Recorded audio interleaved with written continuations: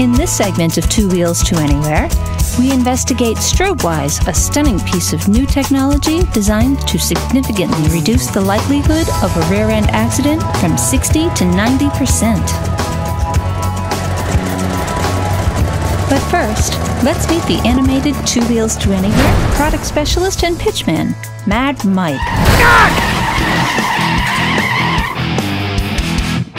Yes, I know where I am.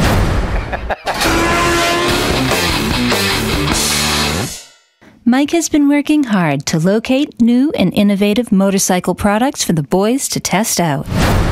Two wheels to anywhere, kickstands up, and welcome back to the show. Did you know we are more than just a travel show? And we have all these items come to us from all over the world that come here to our table. And we sit down as a team and we decide what items we want to put on this show for you, the riding enthusiast, for your safety and comfort and well-being. StrobeWise happens to be at the top of the list today, which is the next generation in vehicle safety. There's 3 million rear-end collisions that happen in the U.S. alone, injuring more than 1.5 million people causing more than $15 billion in property damage. You know, we got all kinds of people out there, you know, texting on the phone, they're talking on the phone. I mean, they'd read the newspaper if they could get away with it. Heck, they would brush their teeth. So we're taught as bike enthusiasts that we are, is to be taught like we're riding invisible. While StrobeWise gives us the ability to be visible. Womp, womp, womp. That's what this is. Womp, womp, womp.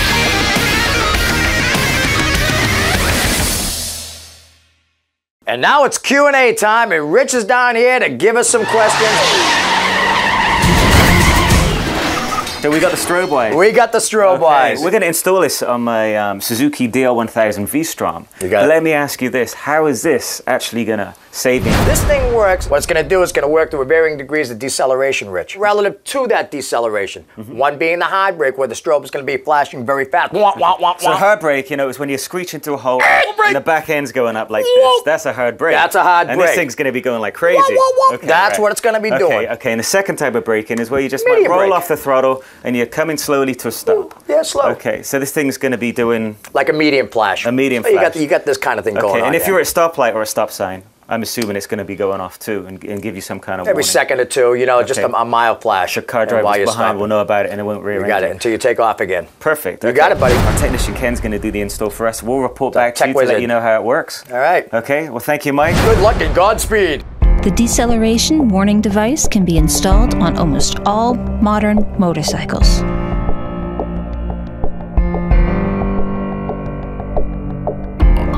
It monitors motorcycle speed and acceleration more than a thousand times per second. When the system senses deceleration, it alerts following drivers using an ultra bright amber LED, giving them 1 to 10 seconds of additional reaction time.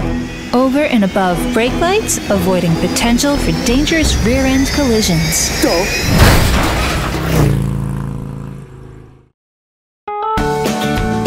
The Two Wheels to Anywhere crew decide to buy into Mike's pitch on installing and test reviewing the StrobeWise. Hi, it's Pete and Ken from Two Wheels to Anywhere, and welcome to this week's show. Well, a lot of things have been happening this week. Pete is particularly interested in this product due to his being rear ended on his BMW K1200S a few weeks earlier. And clearly, the guy behind me didn't see me, straight into me at about 10 miles an hour, and of course, it threw me off the bike. $4,500 worth of damage. We're going to show you some ways to avoid it. It involves this, okay? And um, this is called a StrobeWise. And Ken, in our Ken Tech corner, is going to explain a little bit about that. So the key really is to add, to increase the visibility of the motorcycle as it's slowing down. Not necessarily just because it's hitting the brakes, but just even if you're close to a stop. What you want to do is to, you want to warn the people behind you that you're slowing down. The team meet up today to install the StrobeWise device on Rich's Suzuki DL1000 V-Strom. Hmm, there might be a few problems here. Looks like Rich is struggling with that tank. It's just the width of the tank. It's so fat. In order to get to the wiring, the tank on the V-Strom needs to be removed. It's off. It's off. The beast is off. Amazing. Can you take that? I got it. Wow, it's heavy. You got it? Yeah, I got it, I got it. Oh, it's like holding a new baby. Ken is the real mechanic of the group and quickly gets to work. The main strobe unit, this is the light. It plugs into the sensor. This is a sensor that would detect that the bike is slowing down or speeding up or if it's um, decelerating at a quick rate, it would then signal this light to turn on. There's eight wires, but we're only interested in three of them. We got the plus and minus, standard red and black, and we have a green that is the signal. And so all three of these wires should tap right into the, the sensor wire that we identified on the bike. Richie has the tank off. I'm amazed that he did that without incinerating us and turning the whole garage into a fireball. So now Ken is sort of deep in the bowels of, um, of the bike and uh, we basically have to splice in a wire. So this is a sensor that connects um, to the front wheel and detects how fast the bike is going. We can rebuild it. We have the technology. So up front right here, this is where the speed sensor connects to our, to our bike. And this is where the StrobeWise unit taps into it. You've got permanent mount, adhesive mount with Super Duty automotive grade 3M tape or edge mount bracket, edge mount bracket. Ken, our man, is intensely thorough that's why he's the tech. And well, we, we fumble with the most basic mechanical things. The NTSB has determined that if following drivers had just a half a second to one second of additional warning time, 60 to 90% of rear end collisions could be avoided.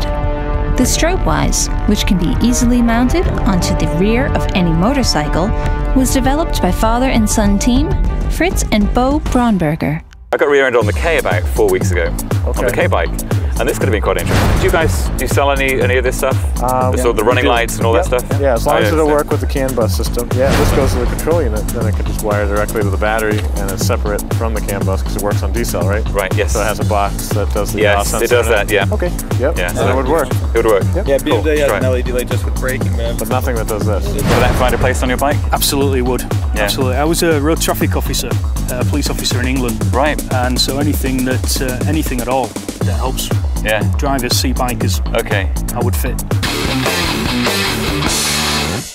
So let me just splice into this. So the doctor's about to make his first incision, and uh, basically we're all going to hold our breath.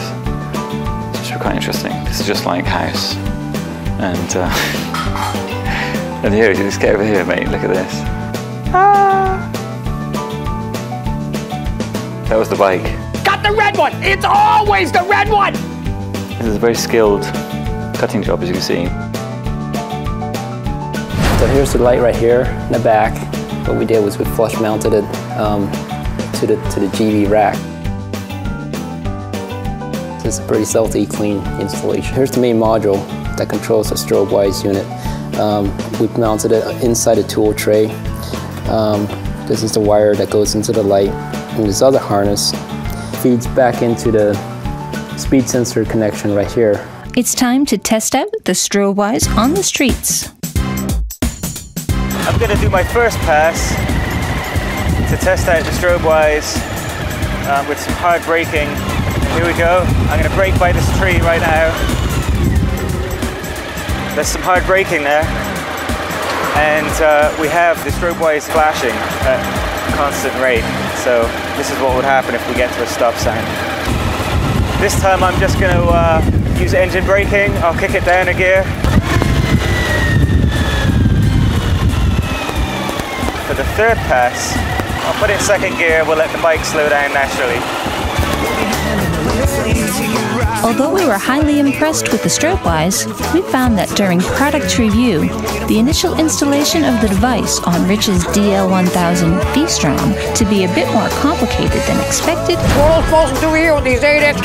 However, Transsystems provided excellent technical support, but recommend installation by an authorized dealer. It's a long way down to the bottom of this bike. During road testing, interestingly, we found people significantly increased their braking distance when following.